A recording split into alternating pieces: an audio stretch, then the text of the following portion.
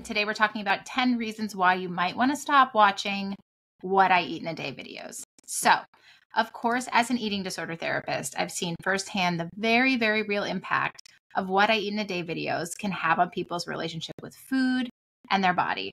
We see it all the time from Kristin Cavallari's What I Eat in a Day videos to, of course, Gwyneth Paltrow's What I Eat in a Day articles, videos, reels, all of the things. These snapshots of celebrity and influencers' days are normalized and almost expected by the general public. And while on the surface they might seem harmless, these videos often do more harm than good. So here are 10 reasons why it might be time to stop watching What I Eat in a Day videos. Number one, they can trigger disordered eating. For people struggling with disordered eating, which actually is approximately 72% of women, or folks who are recovering from an eating disorder, these videos can be more than just unhelpful, they can be downright dangerous. They often glorify restrictive eating patterns, morality around types of food, or obsessive food behaviors. They potentially trigger or exacerbate disordered eating thoughts and behaviors. Number two, their comparison trap. It's all too easy to fall into the trap of comparing your eating habits to those of content creators. But here's the thing your body, your lifestyle, your nutritional needs, they're unique to you.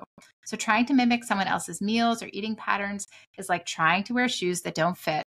They're uncomfortable and potentially harmful. Number three, one size doesn't fit all. These videos often present a single day's worth of meals as if it's a universal blueprint for what's popularly viewed as health. In reality, nutritional needs vary based on factors like age, genetics, activity level, and health conditions. What works for a 25 year old fitness influencer who we don't know what's going on behind the scenes, they could be struggling with an eating disorder, is likely entirely inappropriate for you. Number four, the hidden influence of orthorexia. Many of these videos promote an obsession with eating pure or clean foods, which can contribute to orthorexia, an unhealthy preoccupation with righteous eating. Remember, no single food is inherently good or bad, and a truly healthy diet allows for flexibility, satiety, and variety. Number five, the reality check is completely missing. Let's be honest, most of us just don't have the time or resources or inclination to prepare picture perfect, aesthetically pleasing, perfectly balanced meals three times a day. These videos rarely show the messy, rushed, or imperfect meals that make up real life, creating unrealistic expectations about what normal eating actually looks like. Number six, they reinforce the food police mentality.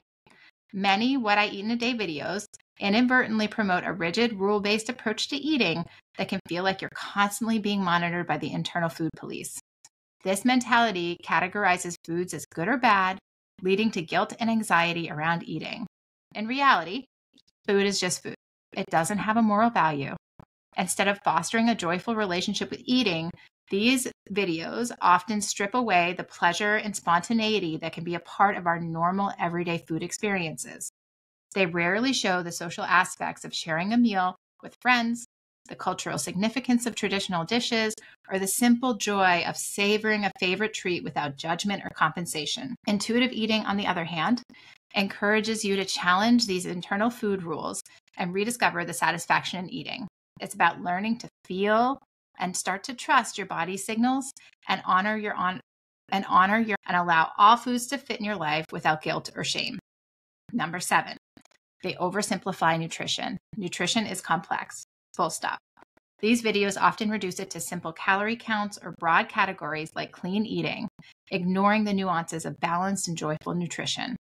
This oversimplification can lead to nutritional deficiencies and an unhealthy fixation on certain food groups. Number eight, they're typically providing unqualified advice. Most con- most content creators aren't registered dietitians or healthcare professionals.